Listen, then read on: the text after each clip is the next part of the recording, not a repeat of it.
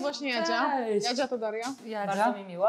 Na razie przygotowałam dla Ciebie zdrową przekąskę, chipsy z warzyw. Spróbuj. To jest coś gorzkiego czy coś słodkiego? No właśnie, e, Jadzia je mało warzyw, co? Mmm, powiem Ci, dobra. To jest kolejna porcja warzyw w Twoim menu. Warzyw, których brakuje. Ale nie nazywamy tego jedzeniem, bo to nie jest jedzenie, to jest tylko przekąska.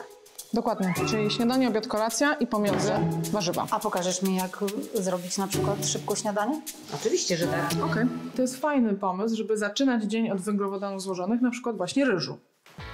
Na początek rozgrzewamy mleko kokosowe, ponieważ ja Ci dzisiaj przygotuję śniadanie na słodko. I odpalamy. Nie zastanawiaj się, wsypuj ryż i koniec. No i super. E, Pani doktor, ile żurawiny można na śniadanie? No garść.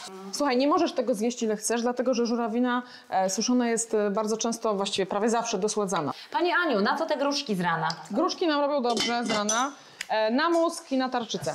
Żeby rano zaoszczędzić czas, wszystko kroić ze skórką. Dodatkowo jak używasz gruszki ze skórką, to zwiększasz zawartość błonnika w diecie, czyli dobrze. Mm, dobra, nie? Bardzo dobre. No i czekam aż się ugotuje. Przygotowałam takie śniadanie, dlatego że Jadzia lubi słodkości. Nie chcę jej zabierać wszystkiego. E, Żeby zmienić nawyki żywieniowe, trzeba robić to po kolei. Ja ci tu sypnę troszkę orzeszków włoskich na dobry mózg. Czy potrzebujesz miodu? To jest test miodowy. E, tak, może troszkę. Zanim dodasz miodu, spróbuj, czy jest wystarczająco słodkie, czy trzeba tego miodu dodawać. Wiesz co, nie potrzebuję tego miodu. A no właśnie. I miód jeszcze w dodatku dodajemy na zimno, raczej nie na ciepło. Może on stracić część swoich cennych właściwości. Jestem w szoku, że Jadzia nie dodała miodu, bo wydawało mi się, że jak lubi tak bardzo słodkie, to ta żurawina dosłodzona to będzie trochę za mało, ale nie dodała miodu i to jest fajny sygnał.